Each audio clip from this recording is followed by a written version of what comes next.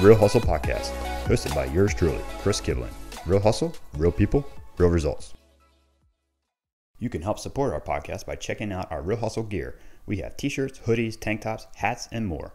The Real Hustle gear is great for the gym or even a night out on the town. Let everyone know that you are a real hustler willing to do whatever it takes to get the job done. You can check us out right now at realhustle.com. And right now, we're offering all of our listeners 10% off when you use the promo code podcast at checkout. Once again, that is podcast to receive 10% off your entire order. realhustle.com. What's up, everybody? Welcome to the Real Hustle Podcast. My name is Chris Kiblin, and I will be your host. And today we have a very special guest in the house. We have Victoria Reinhartz here.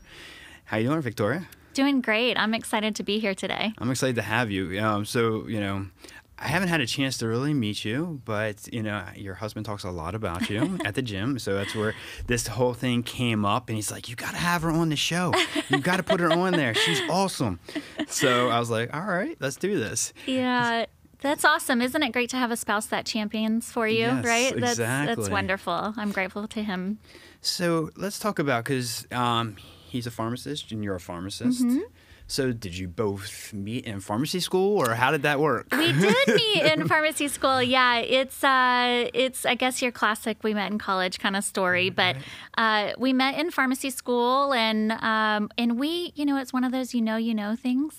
We we got married relatively quickly, and uh, we began having children, you know, earlier on before most of our most of our friends and colleagues, and uh, it just has been a whirlwind, and we've celebrated. January will be 11 years. Wow, so, congratulations. Yeah, it's and you got great two two kids. two two daughters. They're six and nine, and uh, you know they're more like. 18 and, and 21 by the time you you factor in the the sass factor and, and That's and what girls do, right? it's, it's intense but it's great and they keep us on our toes and there's a lot of, of joy in it Got you. Okay. So let's kind of go over. So, um, growing up, when you were younger, did you know when you were a little kid you want to be a pharmacist? no no way you know i So, was how did that happen? I was one of those kids. I had no idea what I wanted to do. I when I started college, I was an accounting major. Okay. Super, you know. uh, I look at it now, How did you get from I, accountant to pharmacist? I know, I know. I picked accounting because I was like, uh, you know, I guess I'm kind of good at it, and I. I, you know, I could do it, and but it really wasn't my passion. It was more that outside pressure to pick something and like work towards it, right? And uh, and actually, the story of how I became a pharmacist is really funny. I was waiting tables, bartending, and waiting tables through college, and and somebody sat in my section with his family and he said i've been paying attention and you have a good memory and you can communicate with people and i'm watching you wait on like eight or ten tables here and i just it seems like you have the skills that would be great in the profession of pharmacy. Have you ever thought about being a pharmacist? And i was like i don't even know what a pharmacist does. I don't I don't i don't i see them right in like a walgreens or something.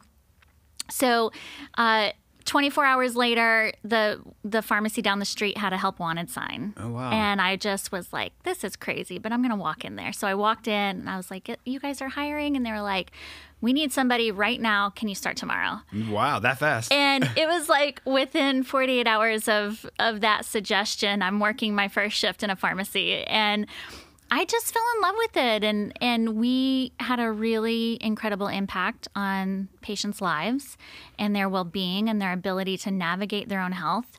And I said, "This is it. Accounting. I, I'm dropping that. I'm switching." and so I became a pharmacist and never looked back. That's a that's a pretty cool story. I mean, it's kind of I mean, almost like it was meant to happen, right? You got somebody talking to you about it. The next thing you know, I mean, you're working at a farm. I'm, I'm assuming you started as a tech. Yep, a for- technician. Yep, and and, then and and you know, again, I had it.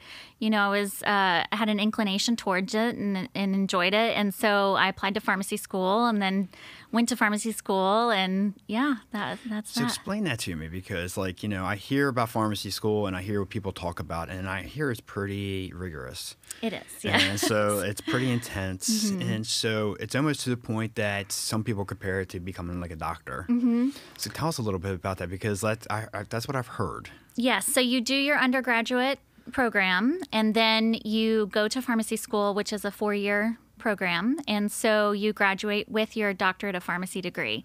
So, uh, so my official title is Dr. Victoria Reinhartz, but uh, it's called a PharmD degree instead of an MD. like Okay, a me- gotcha, it's not a medical doctor degree; it's a PharmD, or doctorate of pharmacy. Um, and then after you graduate, you can either go straight into practice or you can specialize or seek out additional training for something a little bit more intense from uh, from a patient care standpoint. So then you can do you know two years of residency or a fellowship to specialize in something like oncology or pediatrics or critical care, infectious disease, all of those There's different whole- areas. I didn't So- realize there was all that. Yes, yes, and so um, and so there's a lot of different options uh, within the profession, which uh, not a lot of people realize because a Walgreens or CVS is is most people's only recognition. That's the only thing I know of. yes, and you know, you know my husband, and my husband works in a hospital setting. he told me a little bit about what he does, and he does something a little bit different too. Yes, he does. Yes. So, you know, if you go to the hospital, you you go into the ER and and you're sick, right? They draw some blood, they check your labs.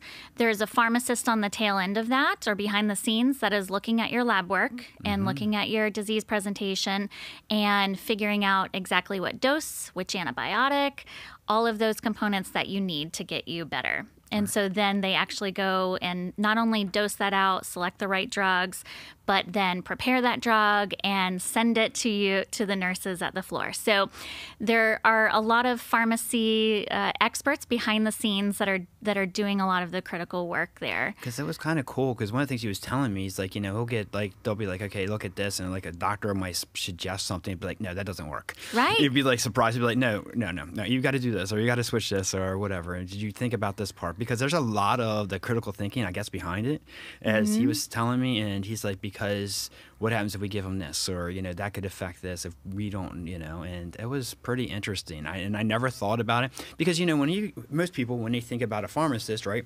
Your doctor prescribes you a, a prescription, you go to the pharmacist, the pharmacist fills it, and you're done, mm-hmm. right? They don't. I never thought like when Lucas was telling me that, and it was like, hey, you know, this is what you know, what I have to really dig deep Yes. into, especially if they're in the surgery because it'd be like they're doing a surgery or whatever. So I was like, that's that's that's really interesting. Yeah, absolutely. Uh, very few people recognize how many drug interactions there are, um, really, how many patients are harmed every year by medicines. And so, uh, physicians are doing the absolute best that they can all the time, but they have so much from an assessment, diagnostic standpoint to have to call on and remember you know, their one semester of pharmacology or two semesters of pharmacology, if they're lucky, is is really not enough. Versus a pharmacist has six or eight different semesters of that, and so it really is wonderful. And, and most of the larger hospital systems have now recognized that having that interprofessional uh, co- you know, complementary expertise of we have the physician, the physician identifies the problem, perhaps has a path that they want to go to treat that patient, but then they bring in that pharmacist to say, is this the right actual drug choice? Is this the right dose? What's the monitoring that we need, right? And they work together to make sure that the patient care is optimized and and really you have better outcomes with that. So, That's pretty interesting. I Yeah. mean, it's I was I was really I mean because that's I mean most people always think like what I just said, and I was like, didn't know, even know all that. yes. So let's talk a little bit about you and not so much about him because he's not here. so you became a pharmacist. Where did you start? And then I know that you've grown into your own business. Mm-hmm. But let's start where where did you first start with your pharma? Did you start at a Walgreens or? I like- did, yeah, Okay. I did. I started with a Target. So Okay. Target had a pharmacy. Now that that's now been purchased by CVS six or seven years ago. Mm-hmm. Uh, but when Target Pharmacy was Target Pharmacy, I was a, a pharmacy manager for them, and I loved it. I loved the interaction with with patients and the impact I was making. And uh, you know, I I started to recognize that I really enjoyed training new pharmacists. I eventually was recruited by the local school of pharmacy, which is LECOM School of Pharmacy, and I still do hold a faculty appointment there. I love to teach; it was a really wonderful role for me, and uh, and so I did that for uh, for about six years now or so. And uh, a few years ago, I started doing some consulting. Okay. And so, really, that would look like, uh, you know, a team would bring me in to say, what are the medication problems? Where if we're trying to you know, create a new uh, software that processes, you know, processes medication orders, or if we're trying to, you know, implement a new clinical service, what are the the medication needs that our patient population is going to have? And so uh, I was brought in by the Department of Health to do some consulting for a concept called community paramedicine, and that is kind of where we're launching into what I do now. Okay, so yeah, tell us about that. So the concept of community paramedicine is taking paramedics who respond to 911 calls, right? Mm-hmm. They know the patients in their community that are sickest. They know the patients who don't have the food and the, the finances and the medications and the doctors that they need and who keep falling back into that 911 system. So okay. we, we know this, right? right? In all of our communities, we have patients who either don't have a primary care doctor or aren't insured or don't speak English or for whatever reason don't have the resources. They don't have access to the care they need. Right. And so they end up going to the ER as because that's the only way they can as their primary care. They, they can't turn them away. Correct. Yes. And so we know obviously that overall their health continues to decline because mm-hmm. they need primary care. We know that this is a very expensive way for mm-hmm. healthcare in our community to be. And uh, so, what I do now is I work with community paramedic and mobile integrated health teams. And so that means we take those paramedics who know which patients are calling 911, who know which patients are really in highest need. And we give them additional resources like training in substance use disorders, training in mental health, training in some chronic disease management. And we partner them with people like a physician, a family physician, a social worker, a pharmacist. And then we send that interprofessional team out into the community proactively to say, ah. you know, Mrs. Smith, you've called 911 three times this month. Before you end up in the hospital again, let's figure out what social, what disease, what medication problems you're having. Let's fix those so that you can stay home, you can stay healthy, you can stay out of the hospital, and it's a win for everybody because that patient has better outcomes, and now our overall healthcare costs are much less for our community as well.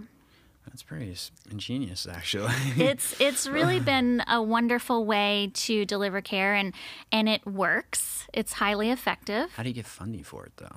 Oh, this is this is the most favorite thing to talk about. So, the funding piece can be challenging. So. Um, it really is going to be dependent on the need in that community and who's financially suffering in that community, right, right? right? So, you know, for example, if a hospital is having, you know, um, uh, payment dings or, or whatever, payment penalties, mm-hmm. because mm-hmm. too many of their patients are getting hospitalized, the hospital or the health system might fund a program like that.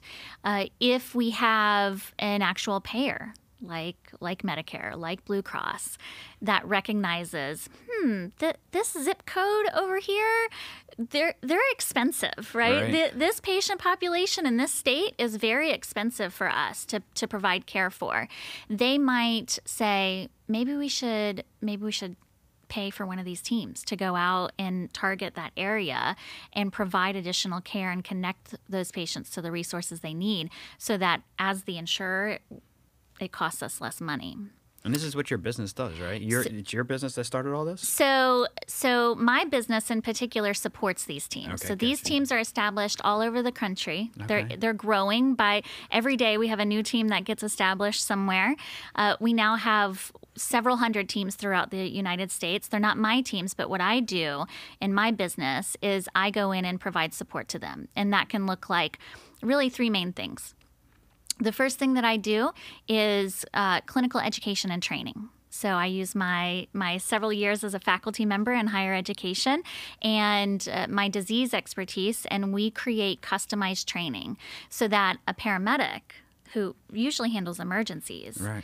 when they come into a home and that patient's got really severe COPD mm-hmm. or really severe heart failure, that they understand the chronic disease management piece. And so that clinical education and training is what we do. The second component that we do for my business is like protocol development and workflow troubleshooting. So you can't just take any clinician and and be like, "Good luck, go see the patient." you need processes in place to say, you know, what do we do if if there is a safety concern in the home, or or uh, what is the protocol if I find my patient doesn't have, um, you know, doesn't have access to food Oh, like geez, where yeah. where do I turn and what do I do and who do I speak to and what are the resources that I have and so we put protocols and workflows in place so that these teams know what to do when they're in the field. Because I'm sure that's got to be difficult for them. Absolutely. I mean, on them. I'm sure to see these people with no food or this not the resources, or I'm sure, and also not even probably the livability of that person's home. Oh, absolutely. And it really there is a lot of a lot of devastation and sadness, really. When you when you get in there, you know, the poverty can be um I mean, it in a way it it really is heartbreaking, right? But I think that it shows you how just how severely this patient needs you Right. right? And that when you can help, even in the smallest way, lift them up out of some of that, that it, it really it really ends up, while heartbreaking, also can can be really fulfilling. Because that's what I was going to say. I mean, you know, I think sometimes like that, I think you have to look at it from that approach, right? I think that's with mm. anything, like as far as whether you're a cop or you're, an, you know, you're, you're an EMT, doctor, whatever. I think that's got to be why you do what you do. Mm-hmm. Not so much for the money, but mm-hmm. why you are out there helping people. Because that part, that other part would be super tough. I mean, my dad was a cop for 22 years, and some of Oh, the wow. stories that he told me and stuff that he's seen, and you know, and it was just, it's crazy. And so, like you know, you go through a lot, but you got to remember why you're there, you know, and what you why you're there to help people and help them get them, even if it's just a little bit to bring them up somewhat. Because you can't. I, I think, I, I, you can't do it for the money, right? Right. you know, I mean, you know, it's, it's, it's, it, the money is, is one thing, but like, I mean, you just, I mean, I think you just, if you look at it from the standpoint, it's like, how can I help this person? And that's the gratifying thing that I'm doing. Yeah. And I think I I personally have experienced what what you're describing more with the the third component of what I'm what I offer and that is really direct patient care services. And so how that gets implemented is you know there's all sorts of scenarios where a pa- a patient um, calls calls the paramedic team. They go to the home. The patients you know um, maybe their blood sugar is too low right? They're they're they took too much insulin or their insulin dose is off from their diabetes and now their their blood sugar has tanked and they feel miserable and we can fix that outpatient right? Yeah. we can fix that in the home. We know what to do to bring the blood sugar up. We know how to do that safely. So we do that but then the paramedic says well do they take their insulin again tonight? Or d- should we change the dose of the insulin until they can see their doctor tomorrow? And so that's where we come in, right? And so, as part of that direct patient care, we get on telehealth or we get on the phone with that patient and that paramedic team who are in the home, and we say, This is how to safely use the medicines right now Right. right, in this scenario. Because again, that patient is in a, a period of acute need. And without that support, they're looking at another episode tomorrow with their blood sugar, or they're looking at another hospitalization this week, right now, if we can't get that under control. And so, uh, for these teams to have a resource of a pharmacist to be able to get on the phone and say, What do I do with the 20 medicine bottles that I have in front of me right here in this patient's Oh home? gosh. There is there's an incredible amount of benefit not only to the team that's in the home to have that resource but also for that for that patient. And when you call them the next day as a checkup right? And they're doing great and their blood sugar is stable and they're home and they're not in the hospital then you've made a huge impact on that individual because I'm sure that again, I'm sure that's taxing on the on the patient, right? I mean, Oh, going to the hospital all the time, having to deal with all that. So I mean, that, I'm sure that's a huge help in their part, and I'm, and I'm sure I'm sure the insurance companies are starting to probably see the benefit and the cost of it by Mm-hmm. doing what you guys are doing. Yes, absolutely. So that, that's pretty interesting on how you guys have put all that together. Yeah, it's it's been fun to be honest. You know, it's a lot of outside the box thinking. I remember when I first stepped into this field, people were like, "I'm sorry, you want to do what?" like you don't. That's not where pharmacists work, and that's not that's not what a paramedic's job is. And and I think sometimes you have to you have to say, "Yeah, this is a crazy idea, but I'm gonna go for it because I think it's gonna work." And uh, you know, if you're smart enough on the front end to be able to track and and document and and really evaluate the impact you're making, um, then then you're setting yourself up for success to figure out, yeah, this is a this is a model of care that is financially feasible, is sustainable, and makes a difference in the the health of our communities. Yeah, that's that's pretty awesome. So now, with you and your husband, because you both are pharmacists, uh, we were talking about this before.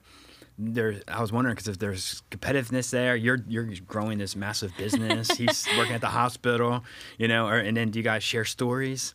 I mean, you know, because that, you know, I mean, you guys both do this. Well, sort of the same thing. Yeah. But you know, it's like, so how's that all work? Oh, yeah. So honestly, you know, not everybody wants to be married to a spouse that does the same line of work.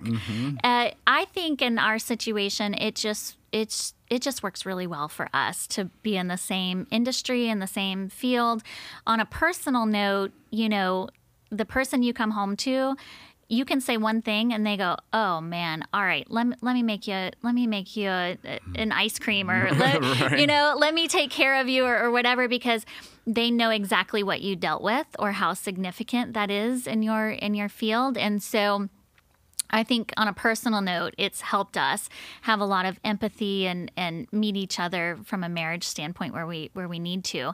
Uh, from a competitiveness standpoint, you know, we have such complementary fields. Right? He's more critical care. He's more um, in hospital. He's more, uh, you know, em- uh, emergency medicine.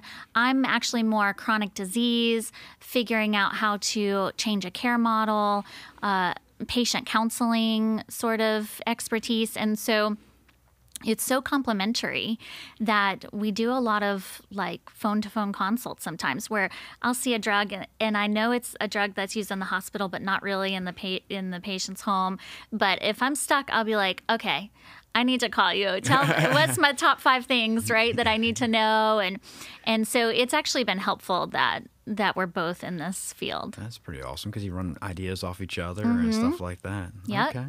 So where do you see your business growing to? Where do you think it's going to get? I mean, what's the next level? I don't know. And you know, I think that I'm in a I'm in a really pivotal pivotal point right now in in figuring out really how to scale. So uh, there are not too many pharmacists that are in this like very specialized area of practice. You know, it's a growing field. There, uh, while people are paying attention to this and these teams are growing, again, there's not very many of me, right? Right. And so that's great. I've had success on that front, but you know, I'm recognizing I can't I can't go to four conferences this month and speak about what I do or whatever. And so I am in the process of that uncomfortable emotional and psychological like step of recognizing that I need to train to re- replace myself in a sense right? I need to train someone and and and scale to grow a team so that others can do what i do and have that expertise. And um and so that's what i see right, i see that you know right now there's a couple hundred uh, teams across the country but it's growing every day. And so there's going to be too many and I'm not going to be able to be personally available for all of them. So uh, that's where I'm at right now. Is I I recognize that there is a need to scale this expertise and these offerings, figure out how to automate whatever I can to, to have available without me being personally present and training others so that they can do a lot of what I do and, and have the same expertise that I have um, so that we can we can help in all 50 states. My company's mission is to empower these teams in all 50 states. That's so awesome. that is a goal that I have is to work with teams uh, in in every state within the U.S. That's, so it's a pretty lofty goal. It is, but you know what? Uh, uh, people said that this entire concept was crazy. So to me, 50 states doesn't seem crazy. Uh, it's all perspective. It's all perspective, right? I love that you said that. Perspective is is so valuable. So mm, yeah, exactly. All right. So one of the things I was actually reading a little bit about you is you. Um, I guess you are one of the top 50 most influential pharmacist. Is that what that was? That is, is that what I read? Crazy, right? right? It is so crazy. Tell me a little bit about that. Yes. So I I was the recipient this year. I was named one of the top 50 most influential leaders in pharmacy. And I just I don't sometimes I still am like, what? Like uh I it's a it's hugely humbling. Uh, you know, there's I want to say there's over 315,000 pharmacists now, wow. which and so when you look at that number, that just blows your mind. And you know, I I think that I think sometimes I'm like, how can that even be true? There's so many people doing amazing work that um, it's just remarkable to me. And in the company, the other people that were, you know, the other top 49 are just amazing. And they're, you know, national presidents of pharmacy organizations and and uh, thought leaders and people that are making incredible legislative change for uh, improving patient care and patient access to pharmacist services. And and it's an honor to be among them for sure. But i think that you know um, possibly the reason I ended up on that list is because I really do think that the access to care problem that we have in our country is unacceptable. And I think that we can fix it. I was going to ask you about that. Mm-hmm. yeah. What's your thoughts on that? Yeah, that's that's a huge mission that I have. I, I think that, you know, we're one of the most developed countries in the world, and yet we have uh, we have homeless veterans living under bridges who can't get their mental health care. And we have, uh, you know, diabetic, disabled patients that are living in squalor in their homes because they can't find a ride to their doctor, mm-hmm. right? Or because they live in a rural area where there's a, a primary care physician shortage area. And and it's not acceptable to me and it's devastating. And i i know that we have models of care like mobilizing teams to their communities that will fix that problem and it's doable. So I think that's one of the things that I think you're changing the way of that, right? I mean, you know, because that's one of the biggest things. Because I'm a veteran, and so, you know, and it breaks my heart to see when I see somebody who went out and they fought for our country, and like you said, living under a bridge because they can't get what they need. I mean, there's 22 veterans that kill themselves every day, and so you know, for suicide because of what they've, you know, whatever they've gone through. Mm-hmm. And so, and they're not getting the care, you know, and yet we are one of the most abundant countries in the world, and we can't figure this out. And there's got to be ways to figure this out. I mean, you know, and, and the prescription drugs that are out there, you know, I think we need to do better. I think we need to make it more affordable for people mm-hmm. who can't get it. Um, you know, and you know, and I'm not trying to be controversial here, but like it's just like some of the things that you see is like, all right, we got to take care of our people, you mm-hmm. know, and people that need it and give them a better life. And so, like, you know, one of the things is I wanted to ask you about also is how did COVID affect you with all this? Um, yeah, you know, and first of all, I, I do want to say thank you for your service. Uh, veterans are close to my heart. My baby brother is a is currently serving. He's uh, he's Army Airborne, and awesome. Um, yeah, so so I do appreciate you highlighting the statistic of of the need that we have in that population, and thanks for your service as well. Um, you know, COVID has been it's been devastating to the entire healthcare community. I think that, uh, in a sense, it highlighted just how much we need this uh, this concept of sending teams out to patients' homes because It's crazy right now. maybe we want patients to stay in their home and not come to the hospital, right? Well, not only that, I was reading a thing that said that like people were saying that we're having more cancer patients now than ever before because they're scared to come out of their home because of COVID too. Yeah, so they never went and got their The- annual colonoscopy yeah. or their, you know, their mammogram and yeah, you're exactly right. Their annual blood work to Mm-hmm. identify if if certain things with their organs are going, you know, awry. Absolutely. And and we're going to be seeing the the long-term effects of COVID for a long time. You look at things like mental health, right? They The stuck in their house, not being able to get out. Yep, the mental health, the loneliness aspect. There's so many different areas of healthcare um, that have been impacted, and it, it's highlighted the need for this this model of care for sure.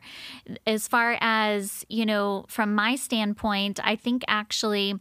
Uh, there are some silver linings, right? In the sense that that my business has grown through COVID.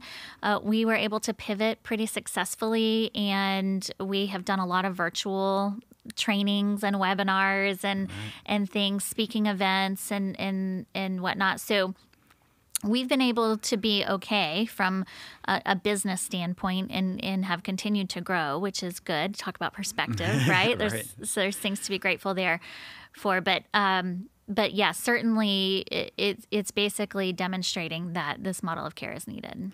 Absolutely. So my one my, one of my last questions I want to ask you and get your perspective on. All right, so like I'm not trying to be controversial about this, but what we're seeing, and since you and your husband are both in the medical field, is the vaccine. Yes. And I mean, I have in the mortgage world because that's what I do for a living. That's what pays the bills. Uh-huh. I have I deal with a lot of doctors, nurses, and now all of a sudden they're making them get these vaccines. I have a lot of people who are calling me going, "Hey Chris, I'm probably going to quit my job because I don't want to get the vaccine." You know, um, because I know one of the hospitals around here that yeah, you can do the medical redemption, and you can or what is it, religion, right? Yep, Your and it- yep, religion an or exemption, mhm. So you can do that, but then of course they make you wear a special badge, and she was telling me that they make you eat, you know, by yourself and all this stuff. How does that affect everything? Because if you're having doctors walk out, Mm-hmm. we're already short-staffed on medical, you know, people, Mm-hmm. and so it's like you know. What's your thoughts on that? Because like that's one of the things I I mean I get it. I get that we want to protect everyone, but we're also didn't have everybody vaccinated before and when all of our hospital people were there. So like I'm Mm-hmm. trying to be logical about this, but I'm also trying to be like, okay, well, this also doesn't make sense. Yeah, I I can see. You know, we have to keep in mind this is a litigious society, right? Imagine you're a health system and you have a patient come to your hospital and contracts COVID and dies from one of your providers who you let work without a mask and without being vaccinated, right? And so uh, I'm a I'm a strong proponent that peop- that people should be empowered to make individual decisions for themselves, um, but I understand from the legal standpoint, right? That's why, I wanted your perspective on it because like I wanted to be open minded about this because like what you just said. I would have never thought about. Mm-hmm. Okay, because let's just say that you do have that person who comes in and does catch COVID from a doctor or whoever who wasn't vaccinated, and then are they now suing the hospital? Correct. And you bet they would. Right. Right. And so, uh, you know, there's a reason why. Um, th- there, there's a multifactorial reason why healthcare providers were listed in the 1A for being get vaccinated when the ca- vaccine was first available. Right. Because number one, they have the highest risk of contraction taking care of COVID positive patients, um, but also how devastating would it be to give someone COVID, right, who was hospitalized for a different acute reason. Right. And so uh, I just am saying that, um, you know, without commenting on whether people should be able to work vaccinated or unvaccinated, that I understand the legal perspective of why that would be put in place. Um, I- I think that, you know, I also will bring the perspective of mobilized care to light here. So, for physicians or nurses or you know uh, social workers or any professional that is saying, you know, I'm not I don't think that I want to get vaccinated for whatever personal reason they choose. What I do in the teams that I work with are literally providing care not in a traditional healthcare setting. And so imagine if you had a paramedic that was in a home working with a patient, they can pull up a nurse on telehealth or a provider on telehealth and provide care to that patient. Right? Without the provider being in front of that patient, physically present in front of that patient, right? So, for those clinicians that are feeling like you know my uh, my my career might be over because I'm not I, that you know the the line is drawn in the sand and I, I'm not There's doing pretty harsh it. stances out there. Let me tell There you. There are. I, I, I would totally agree with you. And, and I have colleagues that, you know, were really on the fence for a while and Mm-hmm. either have stuck to that to that personal feeling, right? Or have decided to get vaccinated, right? But I guess my point is is that um, if I'm doing anything, I think I'm showing that there's not one way to deliver care. Right. And if you still want to be a physician that's making a huge impact, if you still want to be a nurse or a nurse practitioner that's making a huge impact, um, we're showing that let's change the model of care. We can get you on telehealth. We can you can work with teams in a slightly different uh, capacity or different approach, and still be hugely impactful. Still love your job. Still get a lot of satisfaction, and and you know, I mean, it's not the end of the road, right? Right. I guess is what I'm saying. Right. There's there's other op- opportunities for them that's out there. Correct. Because you know that's the thing is like you know, and you do have people and they love what they do, right? Mm-hmm. But for whatever reason, you just I mean, who knows what their reason is? And everybody has the right to have their own reason. It's just like you know they just don't know if that's what they want right now. Mm-hmm. Um, you know, and I think you know, and that's you know, and I, and I kind of understand it, but as, and I kind of understand the hospital's point, you know. So like it's it's a tough decision. It's a tough decision for anybody is in Yes. that, because I can see where the hospital would be like, look, we got to make sure that we're not part of this, Right. You know, um, so it's either you do it or you don't, and you know, and I guess I understand that from that standpoint, and I never thought about it that way. And Mm-hmm. Yeah. that's why, I like, that's why I asked you about it. I was like, because you know, I hear the stories and I hear what's going on. You know, especially because, like I said, I have a lot of clients that are like that. I got a lot of friends like that, and you know, and it was just it's interest, interesting to me. Yeah, it absolutely is. And and I think that no matter what your personal beliefs are, right? That uh that we just have to focus on okay, so so what are the opportunities that can be created? Out of this unfortunate situation, right? If a provider or an individual clinician in their health system find themselves at an impasse, then um, then that provider it's a, it's a great opportunity for them to reinvent. And I know that across the board, there are a lot of different healthcare entities that have not put in mandatory vaccination policies who are actively recruiting and finding that in the great resignation that we're finding ourselves in as a nation that uh, that they're not having maybe as quite of a difficult time because of that. Gotcha. Okay. Anything you want to add? Anything else you want to talk about?